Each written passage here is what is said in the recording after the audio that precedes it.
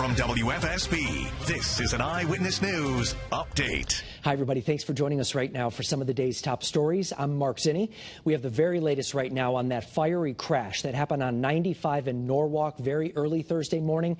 Demolition on the badly damaged bridge will start overnight, right around 3 in the morning, we're told, going into Friday morning's commute. The goal is to have 95 open again just in time for the Monday morning commute. The governor did file an emergency declaration.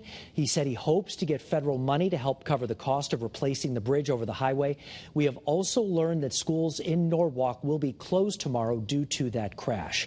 Protests continue on several campuses, including UConn and Storrs. This is commencement ceremonies are set to happen this weekend. Pro-Palestinian supporters demanding an end to the war and that UConn divest from Israel. Several other graduations are planned as well throughout the state. UConn said they're adding security.